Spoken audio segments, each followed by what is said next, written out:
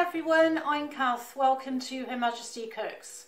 Today we're going to be making some meringues. I know some people are very nervous about making meringue, but we'll do it step by step with a few tips, so hopefully you'll feel a bit more confident. So let's cook!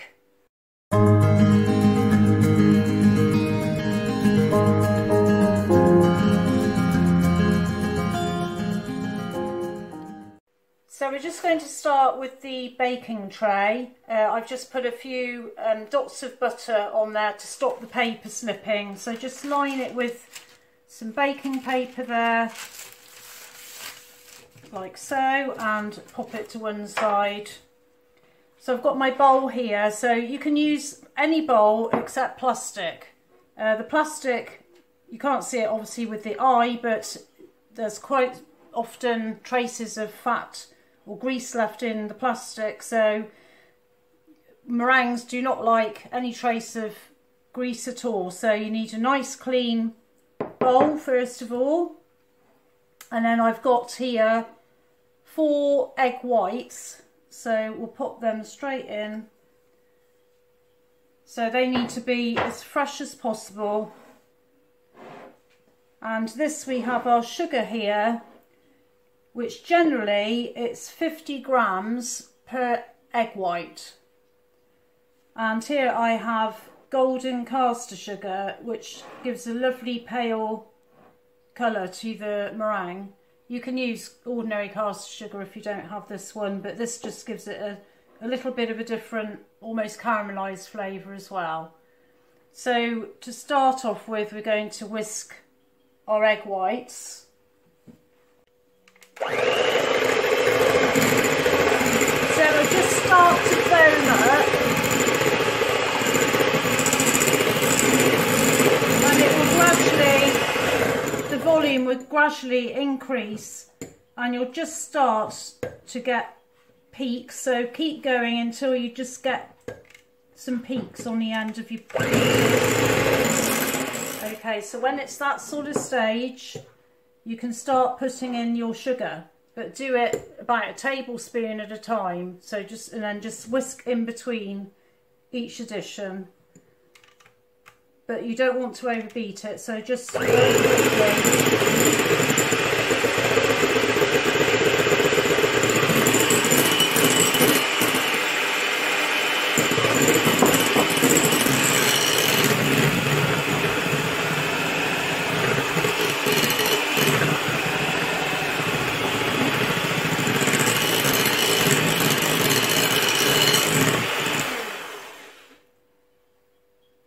There we are, you can see it is holding very nicely there.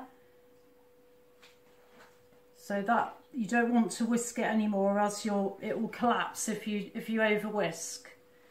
So this is uh, a bit of a test here, but if you turn the bowl upside down, it's a bit of a risky one. Don't put it over your head, I wouldn't recommend it, but it will hold.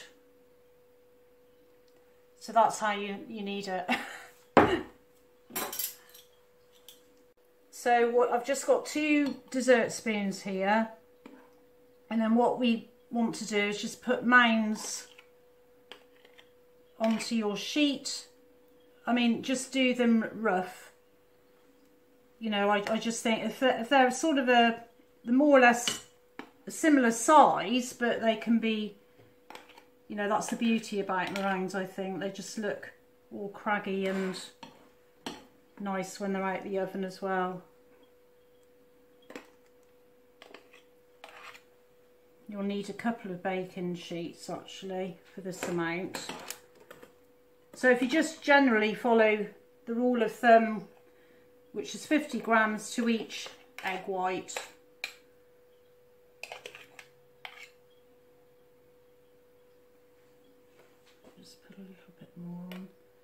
I like these usually big ones because I'm greedy. So you can just swirl them around. I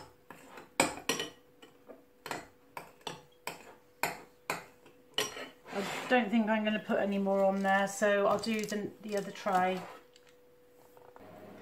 So I'm going to put them in the oven now. Um, this I've, I've got some more on a tray. I've made six altogether, six large ones. So you could make sort of eight smaller ones if you wished.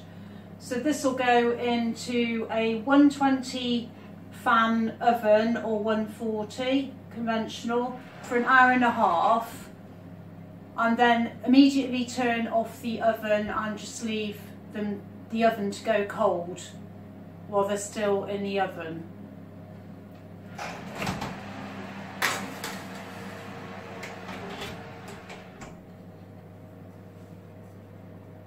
So we're just going to do some cream, vanilla cream to go with our meringues. So I've got 150 ml of double cream in the bowl and just going to put in a teaspoon of vanilla essence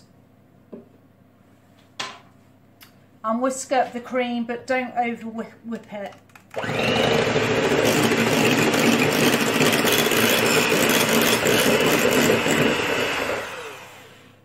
So you just need to just catch it so that it's just holding its own without starting to go to sort of lumpy looking. It, if, if you've over whipped it, it'll just get a horrible sort of over lumpy look to it.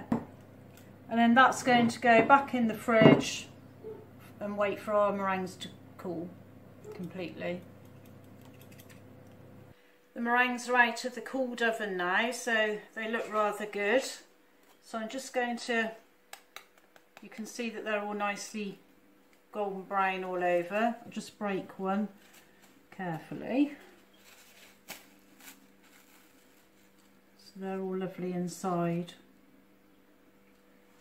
So we're just going to sandwich one together now. You can either just, you know, pile cream on top and have some fruit with it, or I, I'm going to sandwich one together with a, another one, make a pair. How you traditionally sort of see it.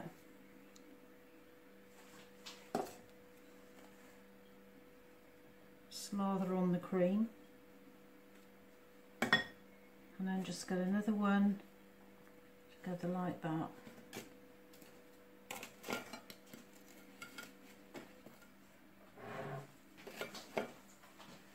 Looks rather naughty and then just give it a light sprinkling of icing sugar if you like and that's all ready.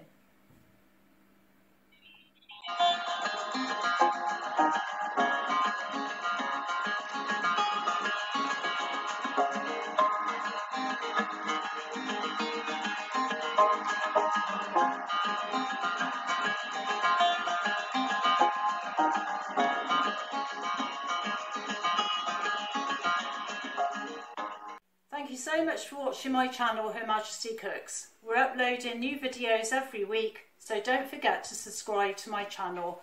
I'm off for a cup of tea now so we'll see you soon. Bye!